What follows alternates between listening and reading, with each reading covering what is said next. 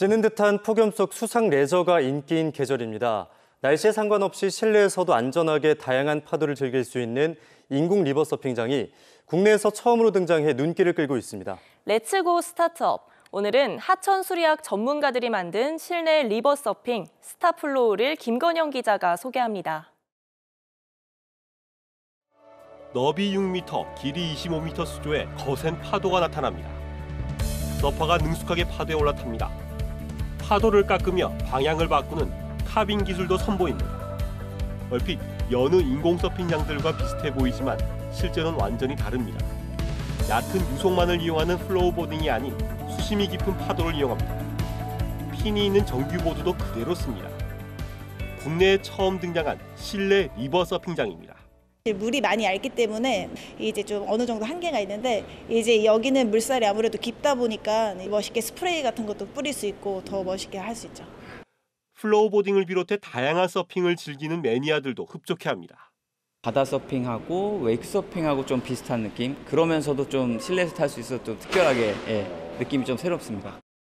원래 river 서핑은 바다가 없는 유럽 내륙 강 상류에서 즐기는 스포츠입니다.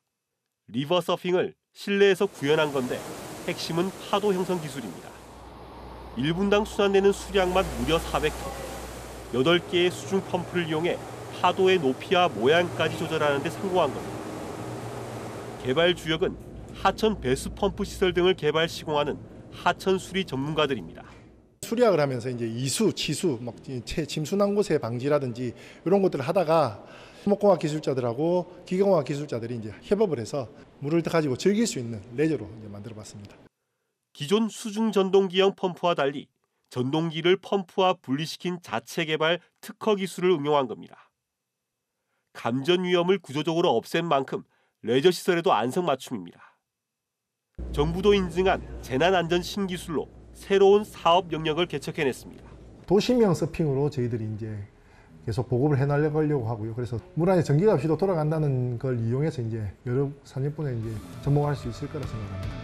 독자적인 기술력을 무기로 스타플로우는 지역 레저 명소를 넘어 글로벌 시장 진출까지 준비하고 있습니다. K는 김건영입니다.